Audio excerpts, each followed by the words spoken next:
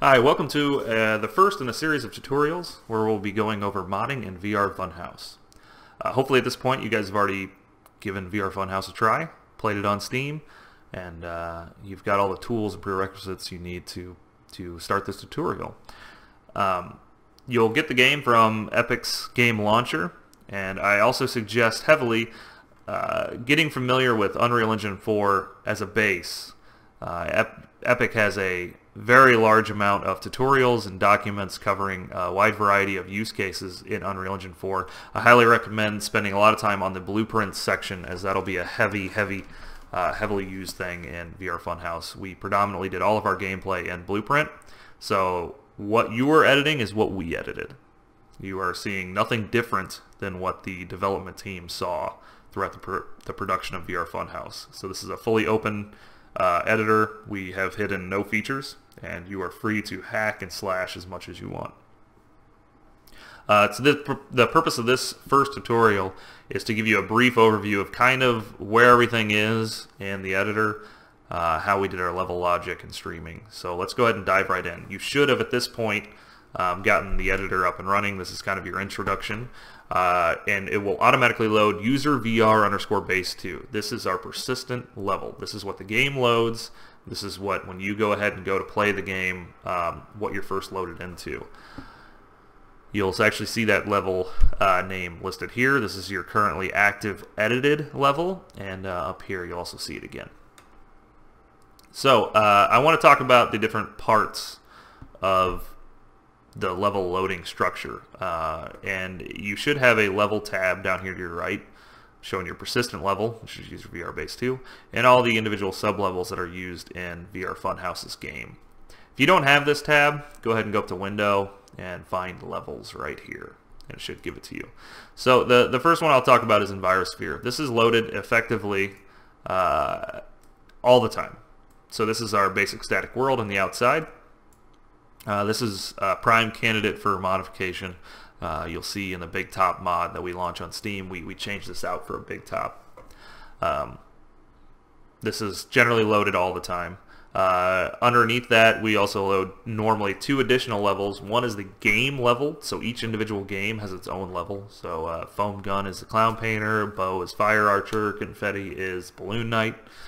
Um, and on top of that, we also load a dynamic set of lights. So I'm going to go ahead and show that real quick. So if I were to open up Clown Painter, you'll see it's pretty dark. Uh, it's just got the kind of the static lighting in there. Uh, but for this particular level, we load the stream lights. These are dynamic lights that are used to kind of get the look and feel we were really looking for. We were really, really looking for uh, you know, some real dynamic lighting that Unreal could provide in this situation. So every time you load into a new level, whether it be Fire Archer, Balloon Knight, uh, Whack-A-Mole, we're loading two things. We're loading the lights that are very specifically made for that level, uh, and we're also loading the level itself. So for instance, um, hair, the hair level the, is going to actually use the stream hair lights. Uh, and the reason for that being is we wanted to have some different shadow properties. We wanted the light to be a little closer, generally just artistic look and feel. So the next thing is, is I want to show you guys real basically like the blueprints that are used and what each individual level uses them for. So you have these nice buttons in the level tab. They'll take you directly to the blueprint for that level. So I'm going to go and open up the blueprint level for the persistent and show you guys what it's mainly used for. The persistent level is generally just used, this is a lot of stuff, I realize, but I'm going to point you in at the right spot. Uh, it's generally just used for loading the individual sublevels. So as you can see here, we, we you know we do some loading for uh, for the Envirosphere, but this is kind of the important one: is set up level streaming, and it is where we load our games in the order we load them in. So once the HMD is enabled, we'll load uh, Clown Painter, we'll load Fire Archer.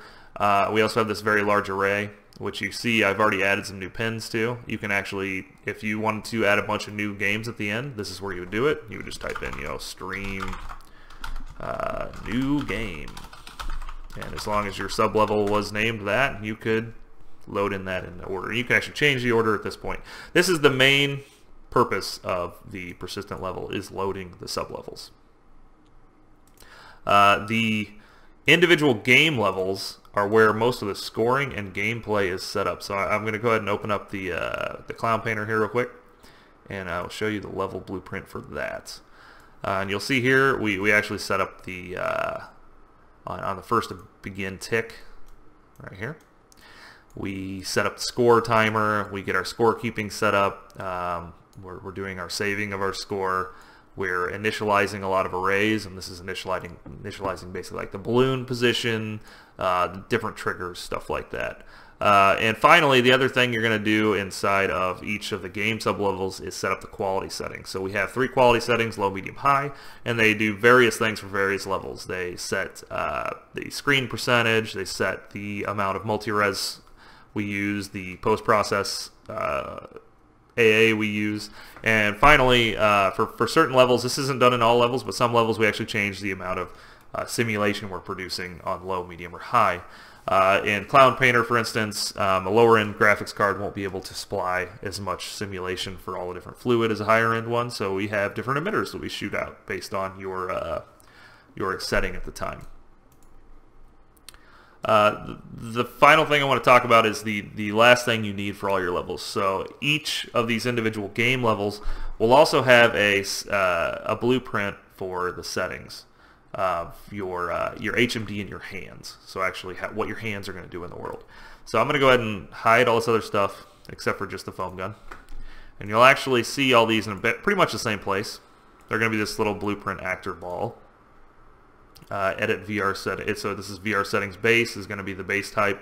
Uh, we've named it obviously something specific for the foam gun. Uh, and what is inside of this is, like I said, basically what hands you're using. So we have all these different uh, kind of hands right here. Right now, the foam gun's going to use Paint Gun Complete BP.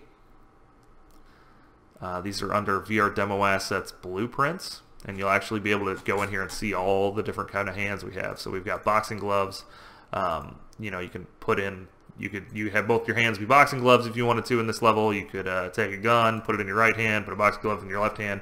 You're free to do any of those type of things you want. This is what hap This is where a lot of the magic happens.